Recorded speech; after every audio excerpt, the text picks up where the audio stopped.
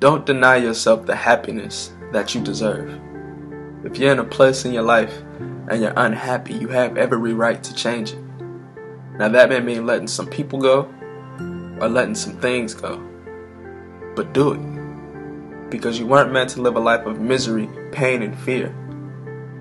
You were meant to live a life of happiness, peace, and prosperity. So make the changes and be happy.